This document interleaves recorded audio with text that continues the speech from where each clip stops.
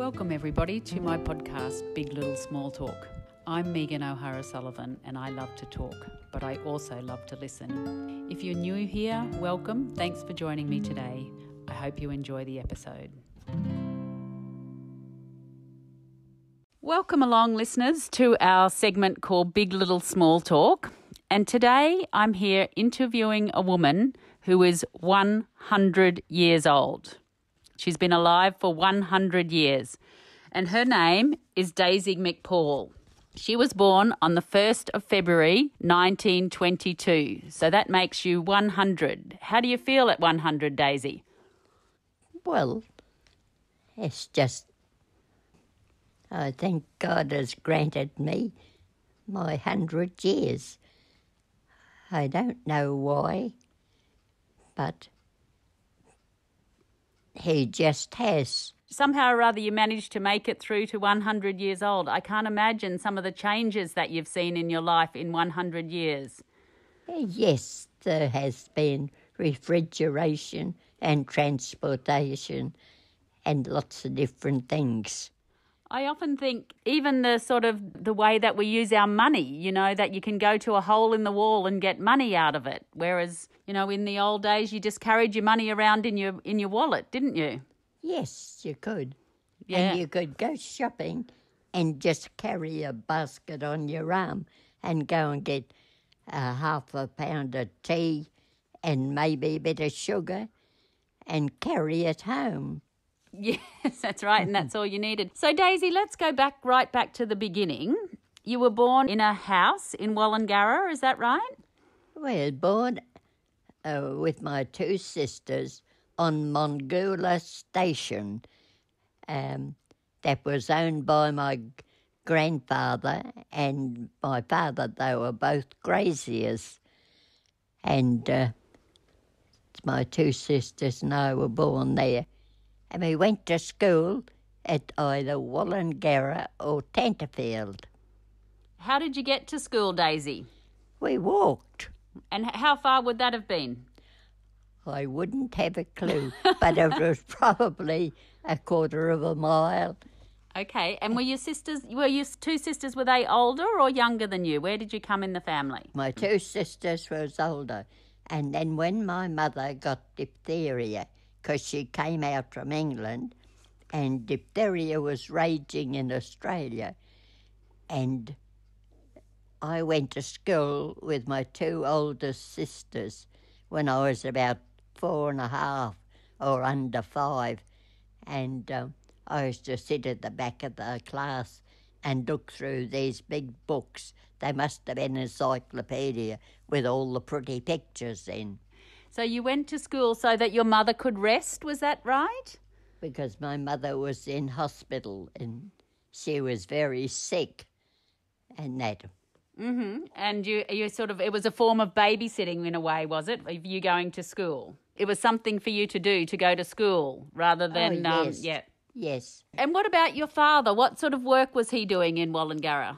Well, he was grazier, and then when the the cattle were lean or something or other, he used to go away shearing, and he'd be away for quite a while, and he couldn't look after three girls, and for some time we were put in a hotel, and they didn't look after us. What age would you have been? What age were you then, Daisy, when you were in the hotel? Oh, must have been about uh, five or six. hmm And who was who was in charge of looking after you? Was it your older sisters? Was it? Well, after that, these hotel people were supposed to look after us. But one time my father come home unexpectedly and he saw us. We'd walked from the hotel, two little girls, my sister who was uh, about three years older than me, and we walked up to his place and we raided his meat safe with um, cheese and a bit of stale bread, and he came up and copped us. Were, were you were you in trouble for that? No, he just said, What am I paying those hotel people to look after you and feed you? And he went down and had a, a row with them. And then we went to Brisbane for uh, six months or so till my mother got better. And were you able to visit your mother in hospital? Do you have any memories of that? No, but I know the doctor used to come and swab our throats with kerosene, and if there was no kerosene there, he'd take it out of the kerosene lanterns. So the kerosene was designed to kill all the germs, was it? Yes, from diphtheria. Oh my gosh, that must be a fairly harsh treatment. Do you smell kerosene now and it takes you back to that time? If you ever smell kerosene? Oh, oh well, I knew it was in the lantern, and they used to, the doctor used to come with a swab and swab our throats. Right. And where you were living at Wallangarra, your dad's house, was it sort of a um, a luxurious house? Did you have a lot of furniture, or I did hear? No, it was a three bedroom place, and it was only partly finished uh, because my father and the constable and the minister was building it, and I think they used to forget and go on a rampage. a, a, a drinking rampage, was it? Oh yes, often they used to. Right. And um, uh, is it true that um, you didn't have cupboards? You just had sticks to hold your clothes on. Is that correct? You hung your clothes up on sticks.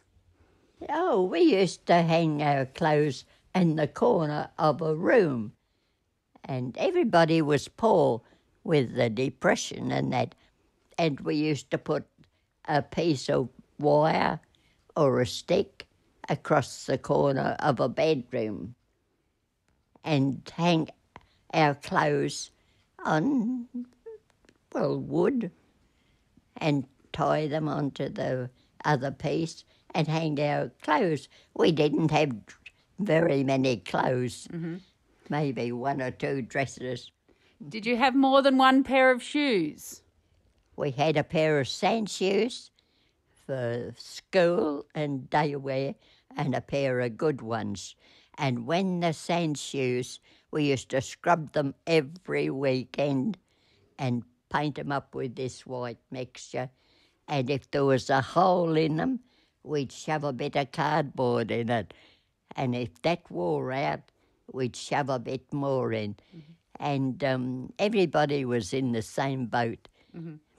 And you, you, you loved um, things like crabbing on the weekend. Were you able to go crabbing somewhere where you lived? Oh, yes, down in the Condamine River, under the bridge, and go yabbying with a piece of raw meat and a bit of string Was that mostly for food or was that for fun or both? for both. Mm-hmm. And we used to have a little fire going and a billy can of boiling water. And if we caught a big one, we'd drop it straight in. Yes. And, and eat it straight away. This is Oh, you. yes. This is you and your sisters. Was there any other people No, coming into was- your family? No, it's not my two sisters because they were older. And uh, one went out to work and the other one uh, went to another aunt. And I was there. And my mother was out of hospital for a short time.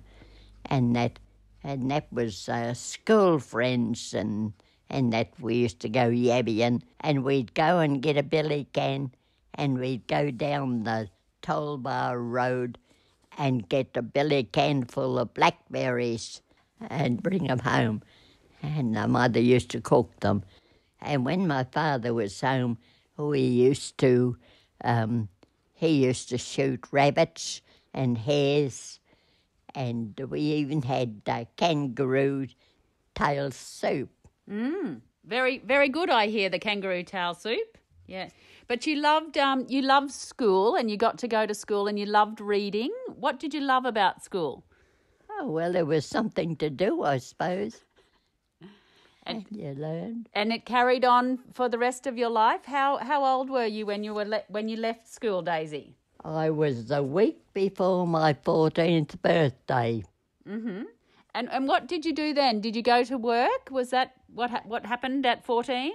Yes, I went to Nurse O'Connor's first. Step was a, a, a place in Hume Street. Had your parents moved to Toowoomba by then? Oh, my father was uh, away and my mother was in Toowoomba and that. Yes. So tell me a little bit more about starting work. What were you doing when you were you were nursing? I used to have to sweep the floors and uh, dust around the place and take them their medicine uh, and that.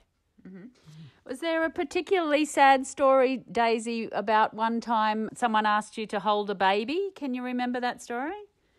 No, they'd asked me to wheel this cot, wheel it backwards and forwards, and I wondered why.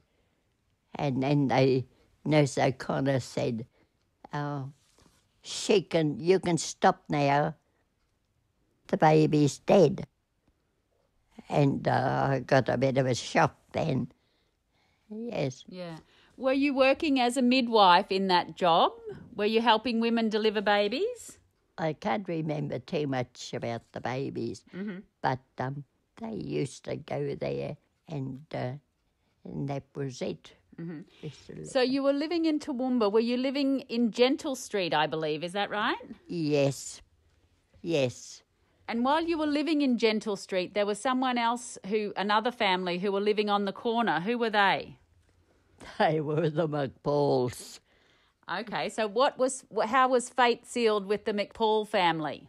Did you spend a lot of time together, your family? Yes, Yeah. because they they had older brothers, about sixteen or seventeen, and they used to buy comics. Well, we couldn't afford comics, and they used to come and let me read them, and we'd sit on the veranda and read all these comics, and they were nice boys. Mm-hmm. How many were there of those boys? Oh Was there 10 or 11 of them? no, there was a lot of girls and boys.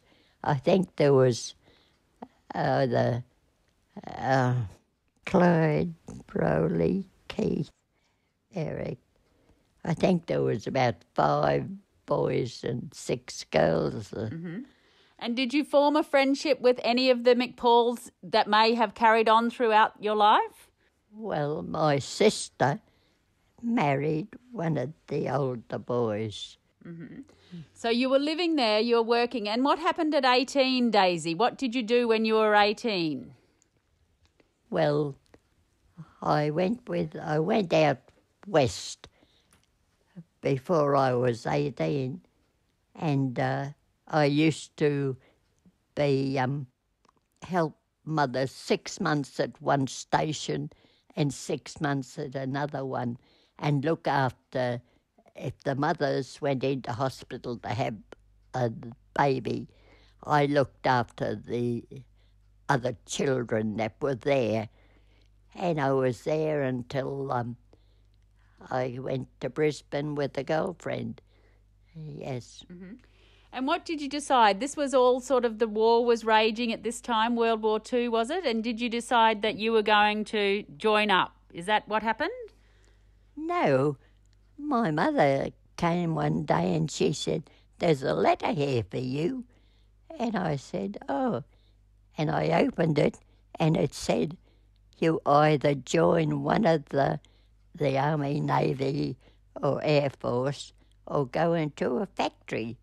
I was quite surprised because I was working. And so what did you do? You you joined up. I joined up. But first of all, I got a job in Brisbane at Archerfield Aerodrome and used to watch the big Douglas airliners come in with all their lights on. So I'll just remind the listeners, Daisy, that they're on 102.7 FM and we're in our segment called Big Little Small Talk. And I'm talking to Daisy McPaul, who celebrated her 100th birthday on the 1st of February 1922. You were born, Daisy, and that makes you 100 and one month old, which is quite an achievement. and we're up to the stage in Daisy's life where you're in the army in World War II between about 1943 and 1946. Is that correct? Yes. Yeah. What Yes. sort of work were you doing there, Daisy? Well, Everybody wanted to be a driver because they saw a picture of Elizabeth II. I think she was looking at a tyre. I don't think she was changing it or anything. And everybody put in to be a driver like her. That is the late Queen now, the mm. second. And um, anyway, they had so many drivers that they didn't know what to do. So when you had to do this aptitude test for drivers, this wheel went this way, that one went anti-clock, and that one went something else. And that my mind was full of all these springs, and I, I thought, no, but you had to draw every part, the crankshaft and every part of the engine.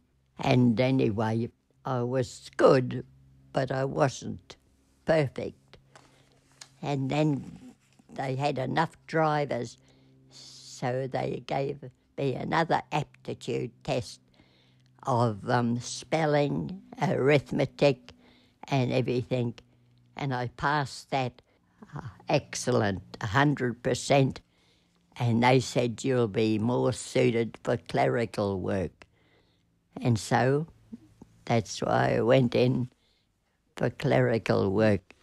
And tell me about that time when you were in the army. Did you love it? Did you love the freedom of being a young woman and you had your own money and, you know? Yes. Yes, it was good. Uh huh. Yes. I wanted to ask you, Daisy, how I came to interview you was because you're a member of the Harlaxton sub branch of the RSL.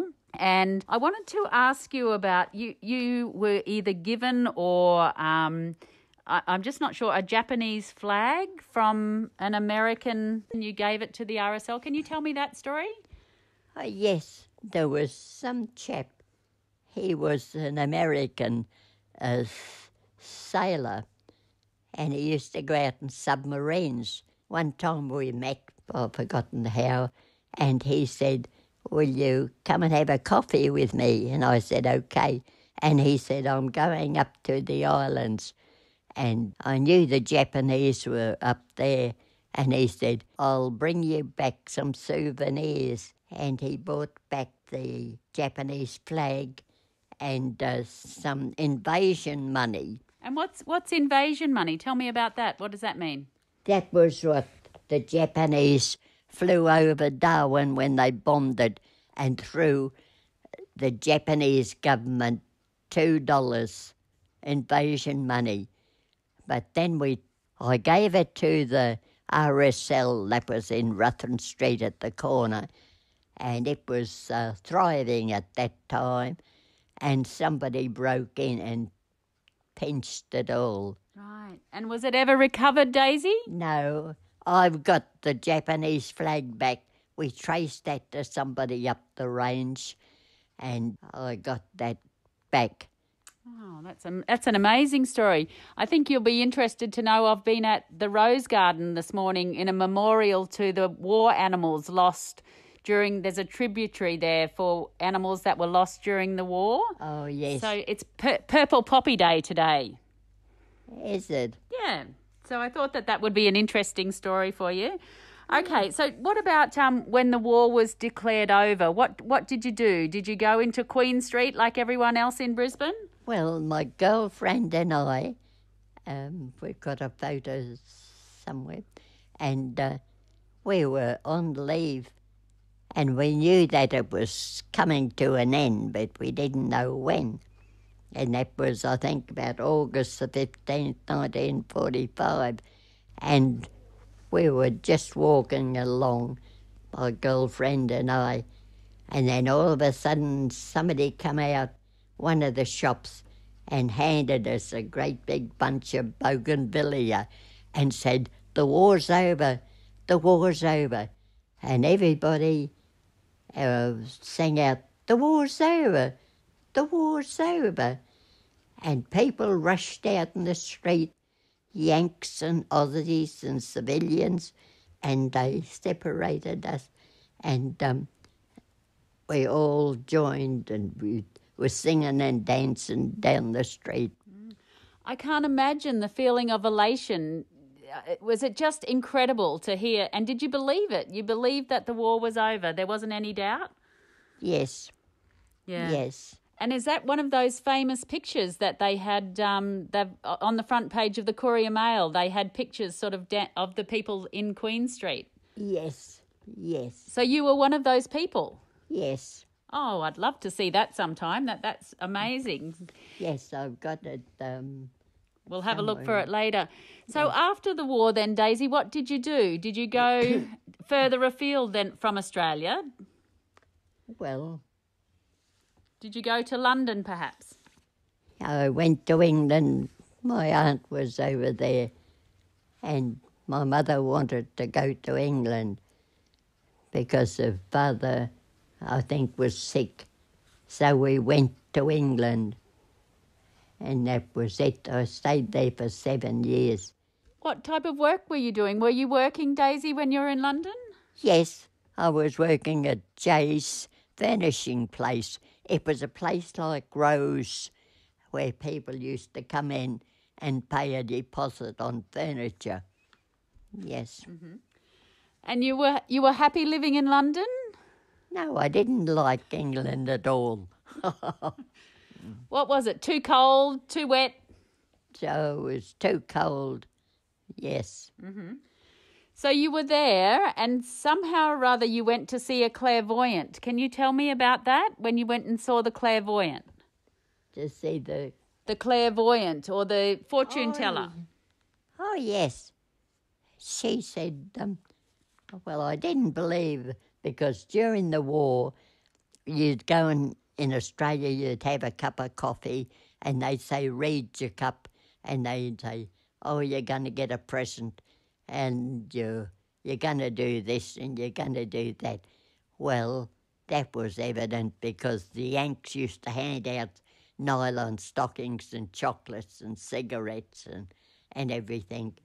And so I went to see this uh, one. She lived down in the under the ground, like they have the terraced houses in London, and it was a coal cellar, but she had it converted into a, a bedroom kitchen.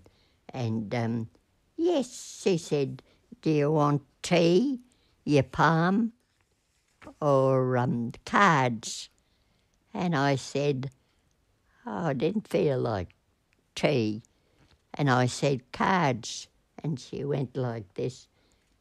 And uh, then she told me where I'd come from and that. And she said, You're going to go back overseas and you'll never return again to England.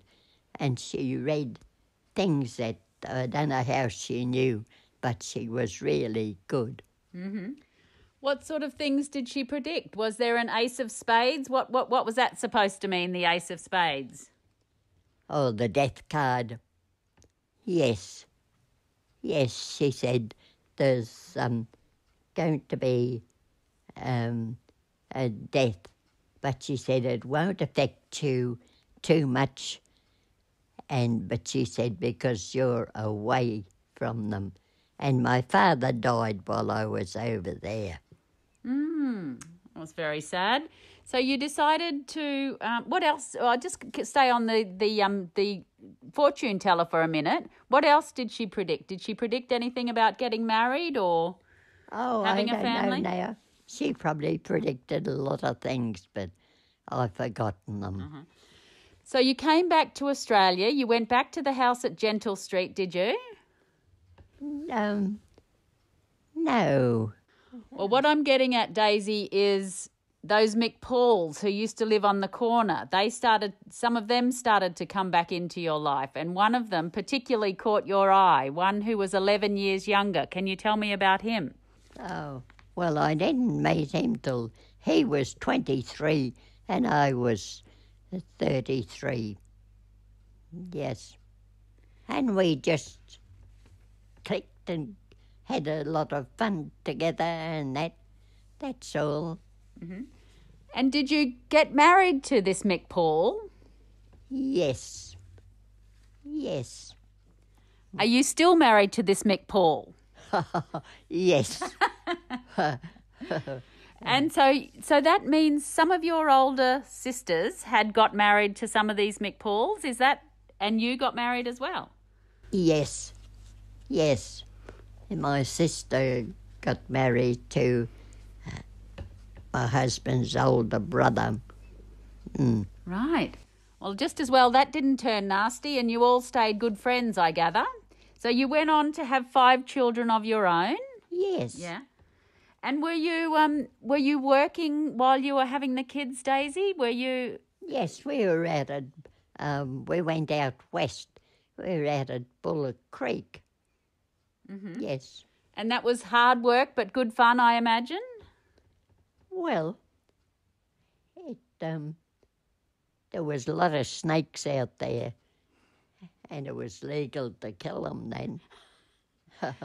Did you do the shooting of the snakes? Oh, I kill them with the with the my point two two, and uh, with a shovel, and that.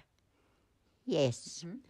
Tell me about the time that it rained fish when you were out west. Oh yes, yes it did, and uh, it we had a real heavy downpour, and um, it rained fish and frogs, little green frogs, and little fish, and we went out and scooped them up out of the the tracks where the the tractors and their car used to go into town and put them in the dam that was close by. Mm-hmm. Do you know why it was raining fish? What was the reason? No, but one other time I read in the paper where a woman from down the coastal way, she said nobody would believe her when she said it rained fish and frogs. And I said, I did because I've seen it. And we've scooped them up and put them in the dam. yes. So you came back to Brisbane, uh, came back to Toowoomba rather, and you bought a house in Charlotte Street. Yep. And- well, first off, we bought a house in Shield Street. It was a big um, Queenslander with three entrances. But the kids kept getting sick. The range side didn't agree with them. And um, so we, the man came out of the blue and wanted to buy our place because it was big. He could drive his semi trailers around the three entrances. And he asked us, would we sell? And so we said yes. And we bought this place. And we were just going to do it up and then buy another place. But then when my husband got sick, we decided we'd stay here a lot longer. So you've been here for 54 years, have I got that right? Oh, 53 or 54, Ah, yes. I'm prone to exaggeration. I'm sorry, Daisy. Oh, yes, yes. I'll just remind the listeners that they're on 102.7 FM and we're talking to Daisy McPaul, who's my guest today on Big Little Small Talk, and she's celebrated her 100th birthday in February. I'll have you know, Daisy, my youngest son, I've got five sons, and my youngest son was born on the 1st of February. So that's a very good omen you share you share the same birthday. So all this time living in Toowoomba, you um, you've got the five kids. I hear that you we share another um, love, and that's you're a very big op shopper. Is that right? You love op shopping. Yes, and I used to work in the op shop. Yes. Which which one did you work in? The one down in Ruthven Street. And um, in your spare time, what did you like to do? I hear you're a bit of a, a shark with the cards. You like to play cards?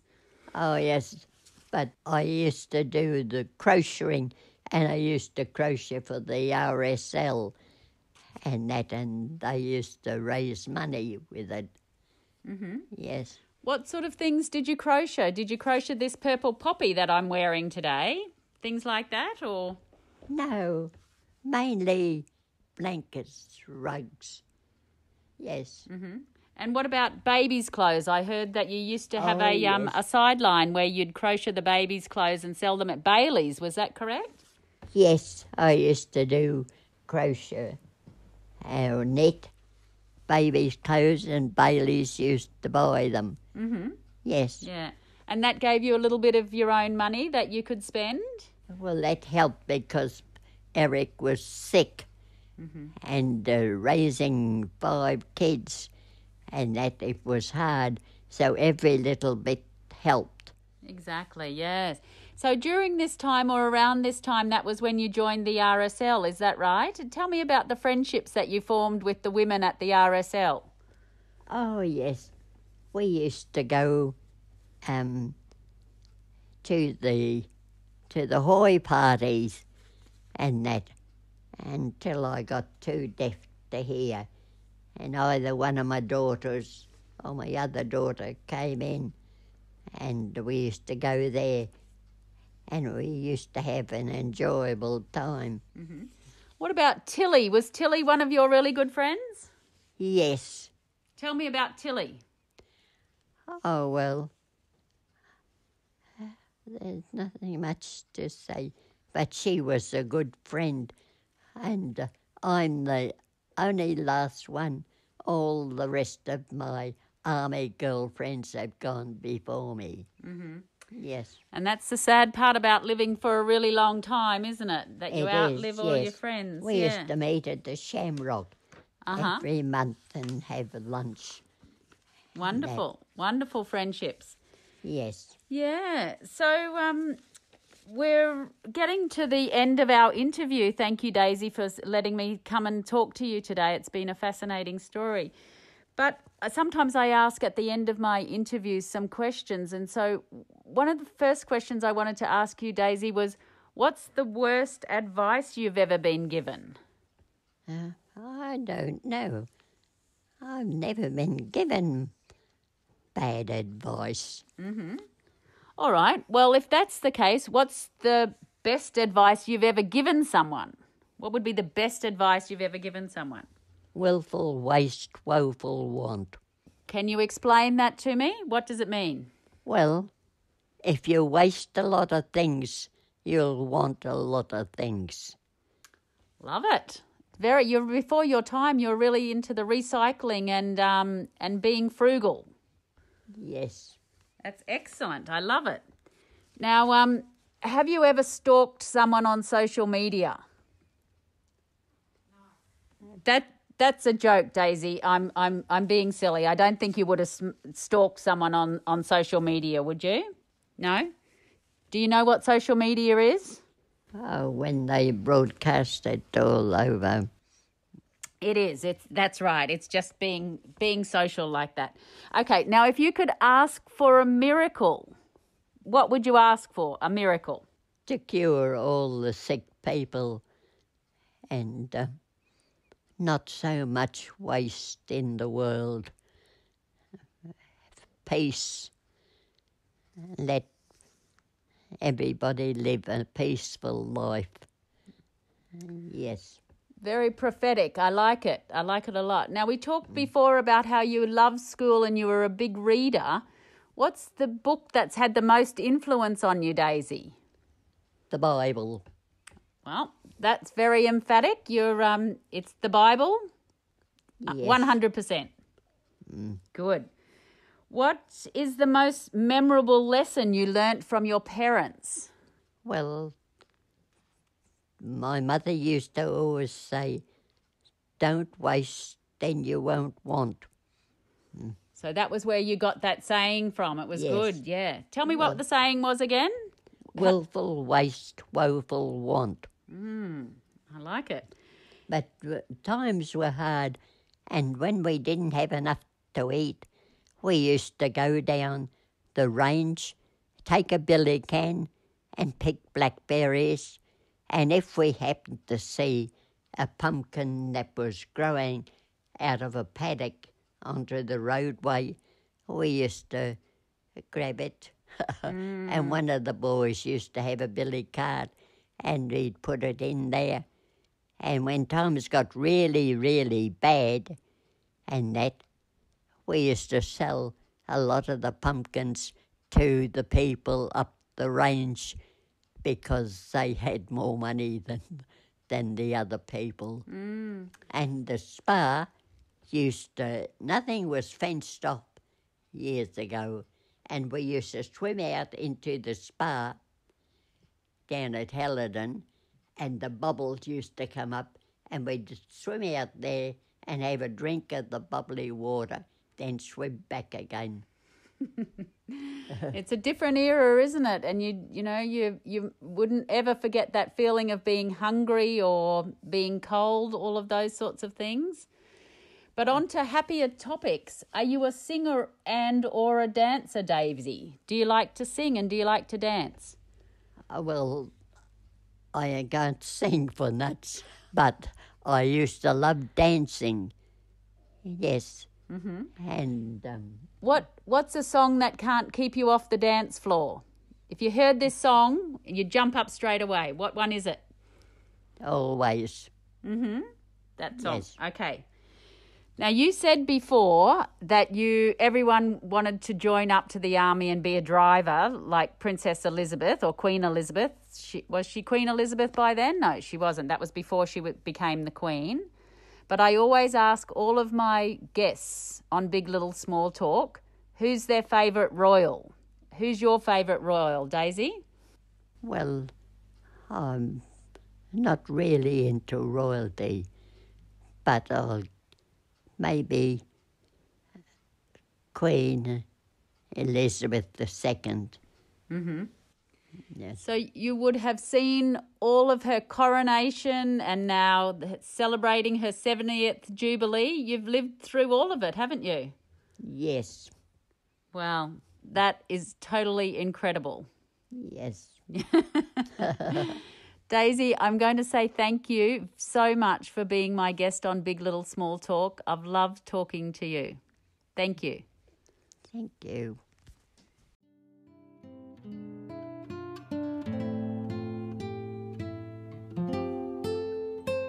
That's it for this week. Thanks for joining me on Big Little Small Talk. I hope you can make the time to join me next week. If you've enjoyed this episode, please subscribe on your favourite podcast app.